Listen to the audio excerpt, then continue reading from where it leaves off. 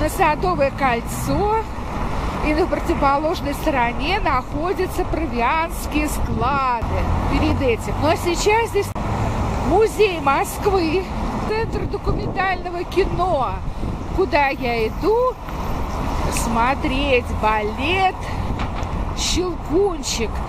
Королевский балет. Ну, а королевский балет, это понятно, где у нас королева в Англии, Великобритании. И на занавесах ее герб Елизавета II. И вот нам в эти железные ворота Центр документального кино.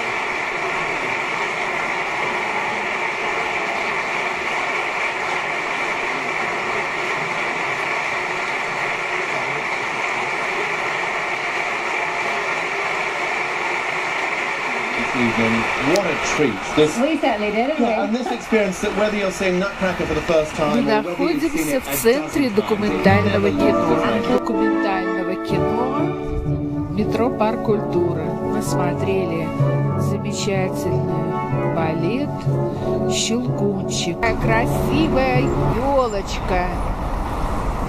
Я, дорогие друзья, еще раз поздравляю вас с наступившим Новым годом и с наступающим Рождеством. И хочу вам пожелать всего самого хорошего. Э, Эти дни после Нового года до э, Рождества я постараюсь выкладывать фильмы каждый день, чтобы вам было очень интересно. И здесь будет буквально все. До встречи на канале, мои дорогие, мои любимые.